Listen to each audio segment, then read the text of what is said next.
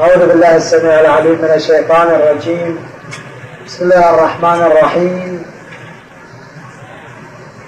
آية من القرآن الحكيم. إذ قال له قومه لا تفرح إن الله لا يحب الفرحين. هذه الآية في قصة قارون الذي كان من أصحاب موسى أولا ثم ارتد وانحرف فصار إنسانا طاغيا وأهلكه الله سبحانه وتعالى.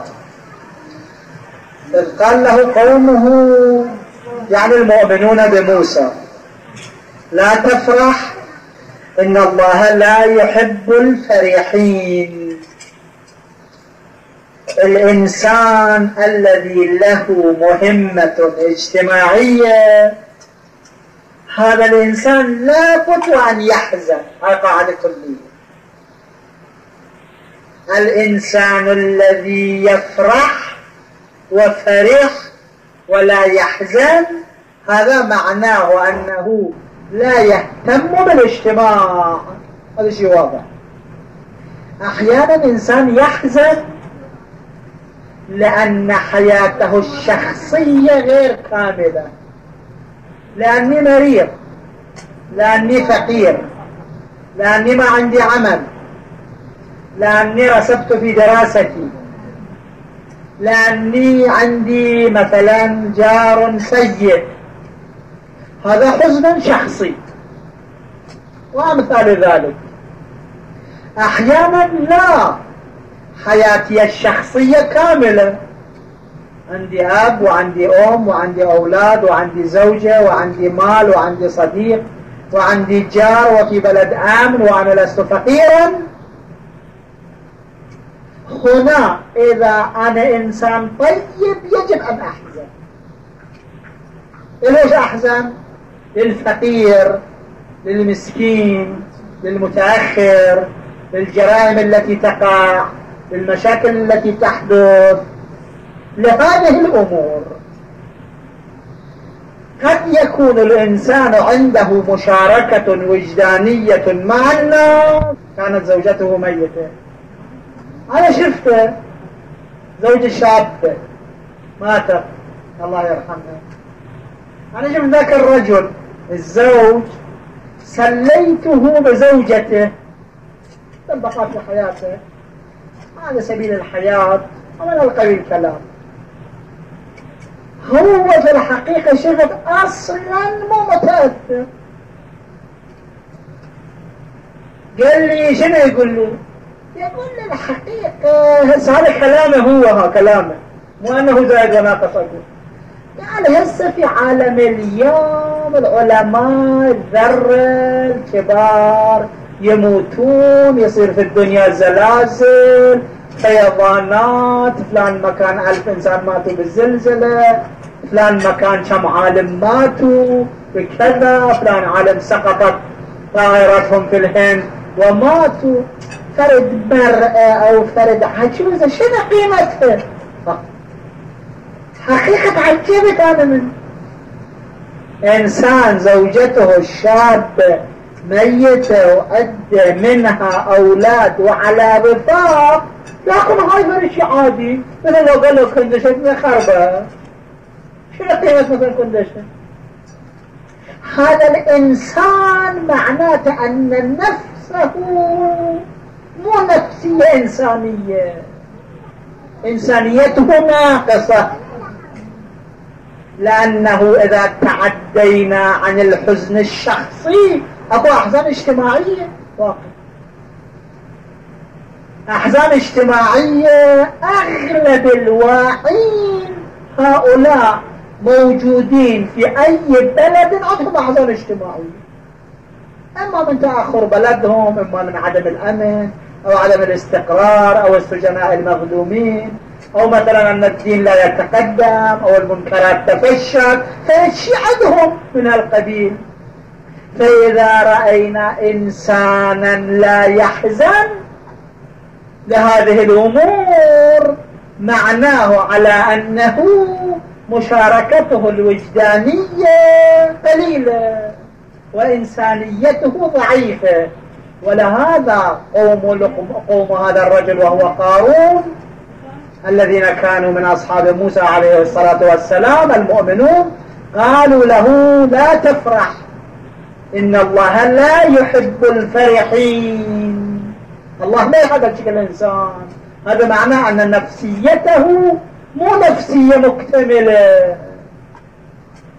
أكثر الناس إذا رأيتموهم تجدونهم محزونين. بس مو لازم محزونين للموت. لا أنه فرد حالة انقباض على أنه لماذا هالشكل أو لماذا هالشكل أو لماذا هالشكل فإذا وجدت إنسانا يفرح على طول الخط معنى هذا غير مبالي. يقولون المجنون لا يحزن. شو طبيعي لأن لا يشعر حتى يحزن. ولذلك في الأحاديث أنه إذا اشتد بك الفرح اذهب إلى المقبرة. هذا علاجه. الإنسان إذا اشتد به الفرح يذهب إلى المقابر. حتى شوية يحزن. حتى شوية يفكر في المصير والمسير. وكذلك إذا اشتد به الحزن أيضا الزائد عن المتعارف أيضا يذهب إلى المقبرة.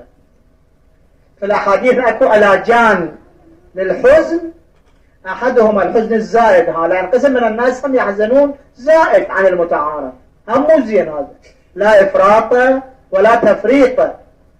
مثلا أنه فرضا خسر في التجارة أو رسب في المدرسة أو عبد الحليم حافظ مات هواية حزن له حتى ألقى نفسه من شاهق وقتل نفسه. إذا حزن حزنا زائدا هذا له علاجان أكو في الأحاديث. العلاج الأول أن يذهب إلى المقابر يفكر الوش أحزن أنا هذا فرضا أنا رسبت؟ أو فرضا أنا خسرت في التجارة؟ أو فرضا أنه أجروا لي عملية جراحية والعياذ بالله وقطعوا يدي أو رجلي أو إصبعي أو ما أشبه. الأشياء الموجودة لكن نشوف مئات من الناس مبتلون بهذه الأمور. أجروا له عملية قطعوا يده قطعوا رجله قطعوا مثلا قلعوا عينه مثلا أو ما أشبه. أو أنه فقير أو أنه مات قريب له أو ما أشبه. إذا حزن حزنا زائدا يذهب إلى المقبرة حتى يعتبر يقول حتى إذا أصبت بهذه المشكلة فإن الحياة لا تسوى أن الإنسان ليل نهار يحزن حزنا متزايدا. لا الدنيا لها انقضاء.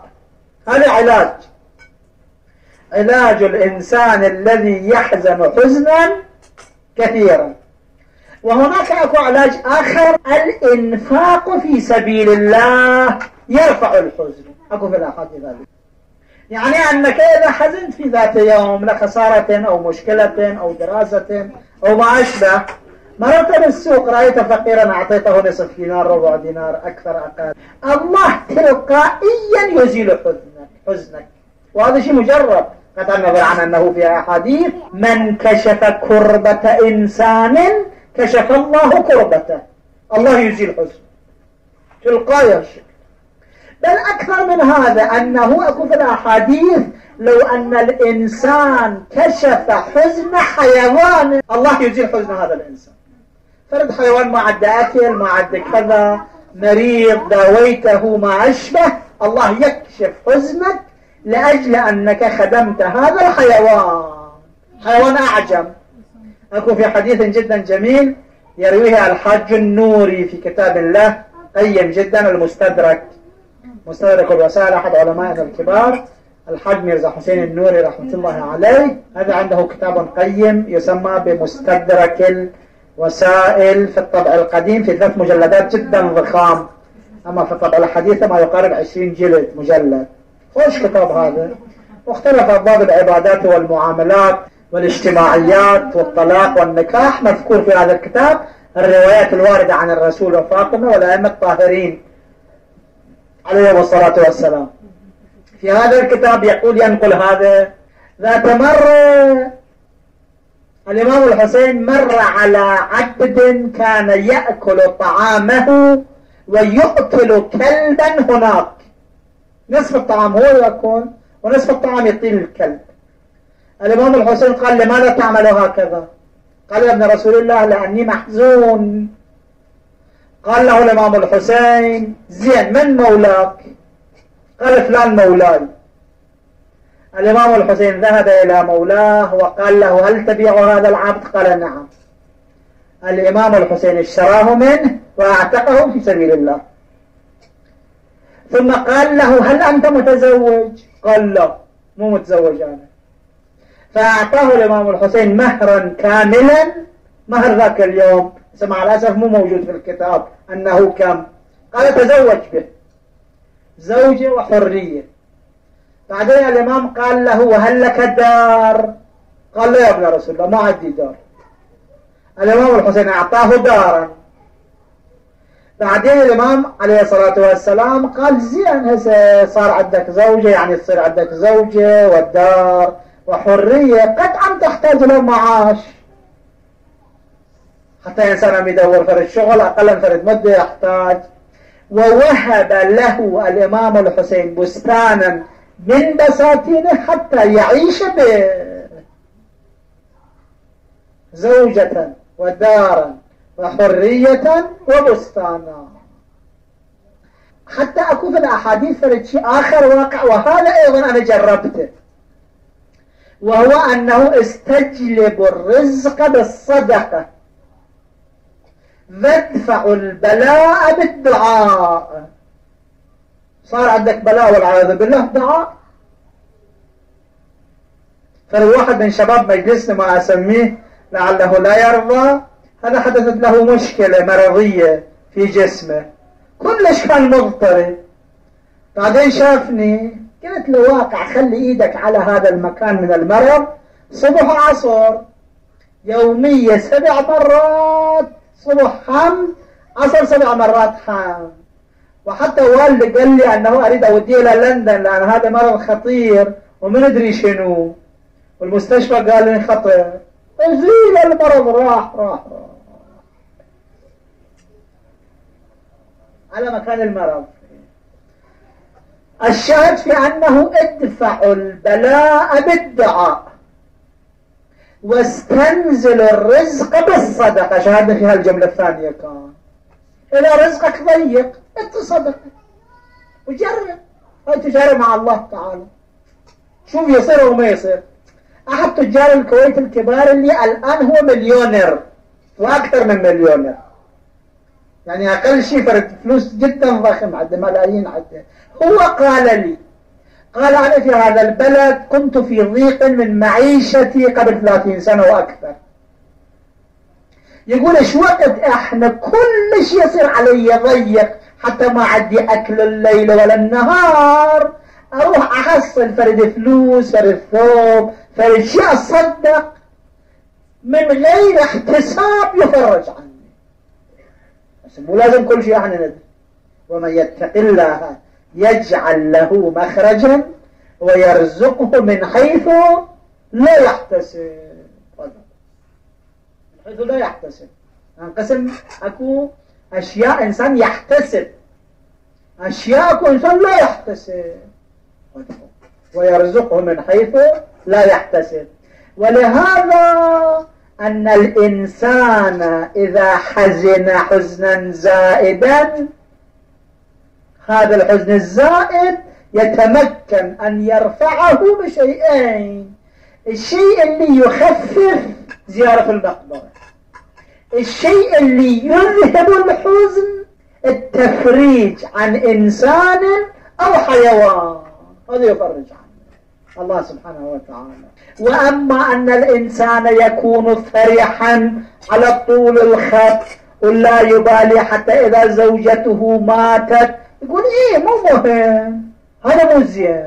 وهذا هو ما نهى أصحاب قارون. قارون قالوا له لا تفرح إن الله لا يحب الفرحين. الله ما يحب الأشخاص اللي ما يهتمون بالاجتماع بشخصهم بزوجتهم بأولادهم بآبائهم بإخوانهم بجيرانهم. الله ما يحبهم.